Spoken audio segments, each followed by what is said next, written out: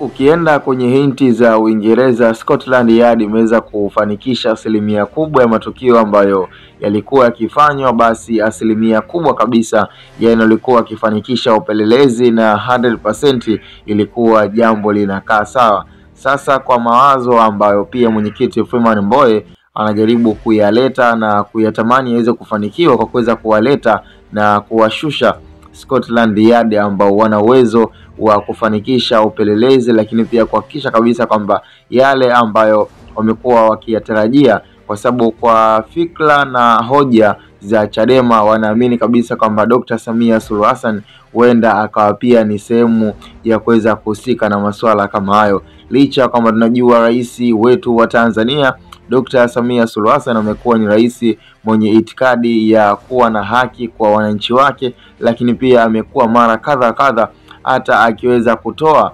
ilani ya kuhakikisha kabisa kwamba amani inaendelea kutawala, lakini pia ameendelea kulaani pia matukio ambayo amekuwa yakiendelea katika nchi yetu ya Tanzania.